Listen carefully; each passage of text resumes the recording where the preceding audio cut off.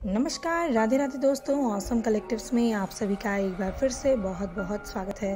जी हाँ दोस्तों, आज हम फिर उपस्थित हैं एक महत्वपूर्ण जानकारी के साथ। आज के इस वीडियो में हम आपको बताने जा रहे हैं कि इस दिन लगेगा इस साल का पहला सूर्य ग्रहण। ग्रहण के दिन ना करें ये चीज़ें। जी हाँ दोस्तों, आज का हमारा टॉपिक बेहद ही इंटरेस्टिंग होने वाला है तो वीडियो को अंत तक ज़रूर देखें। और अगर आपने अभी तक हमारे चैनल को लाइक और सब्सक्राइब नहीं किया है तो जल्दी से कर दें, ताकि इसी प्रकार की रोचक जानकारियाँ हम समय से आप तक पहुँचाते रहें। तो आइए दोस्तों, देर न करते हुए वीडियो को शुरू करते हैं। सबसे पहली और महत्वपूर्ण बात कि 30 अप्रैल को लगेगा साल का पहला सूर्य ग्रहण जी हाँ दोस्तों, साल 2022 का पहला सूर्य ग्रहण 30 अप्रैल यानी वैशाख अमावस्या के दिन लगने वाला है।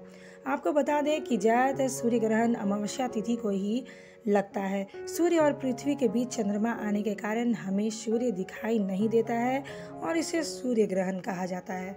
ये तो बात हो गई कि किस दिन है सूर्य ग्रहण अब बात करते हैं कि कहाँ कहाँ लगेगा सूर्य ग्रहण 30 अप्रैल शनिवार को रात बारह बजकर पंद्रह मिनट पर सूर्य ग्रहण शुरू होकर 1 मई रविवार को सुबह चार बजकर सात मिनट पर तक चलेगा। दोस्तों, बता दें कि ये सूर्य ग्रहण भारत में नहीं दिखेगा।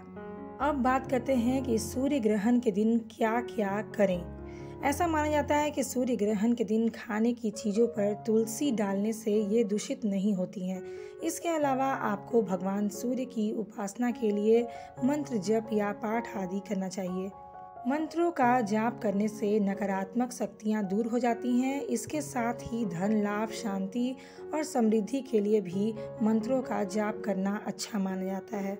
ये तो बात हो गई कि सूर्य ग्रहण के दिन क्या करना चाहिए। अब बात करते हैं कि सूर्य ग्रहण के दिन भूल कर भी हमें कौन से कार्य नहीं करने चाहिए। सूर्य ग्रहण के समय पाचन शक्ति कमज़ोर हो जाती है, इसलिए सूर्य ग्रहण के समय खाना बिल्कुल भी नहीं खाना चाहिए। ग्रहण के समय खुद को और ख़ास करके गर्भवती महिलाओं को ग्रहण की छाया से बचना चाहिए। इसके अलावा पूजा पाठ करने से भी बचना चाहिए, क्योंकि कहा जाता है कि इस दिन भगवान पे ही ग्रहण लगा होता है। इस दिन सिर्फ़ अपने मन में ही भगवान का स्मरण करें और मन में ही भगवान को प्रार्थना करें।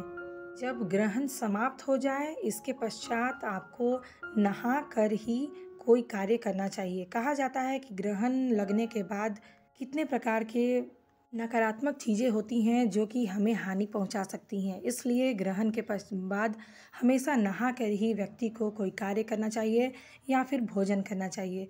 यह भी कहा जाता है कि अगर जिस दिन ग्रहण लगा हो, उस दिन, अगले दिन हमें दान अवश्य करना चाहिए। ऐसा करना भी शुभ माना जाता है तो व्यक्ति को दान करना चाहिए। तो दोस्तों, आज के इस वीडियो में हमने जाना कि ग्रहण लगने पर हमें क्या करना चाहिए और कौन से कार्य हमें भूल कर भी नहीं करने चाहिए। तो दोस्तों, कैसी लगी हमारी आज की जानकारी? अगर आप सभी को हमारा यह वीडियो पसंद आया हो तो हमें कमेंट बॉक्स में बताएँ और हमारे चैनल को लाइक और सब्सक्राइब करना बिल्कुल भी ना भूलें। धन्यवाद। राधे राधे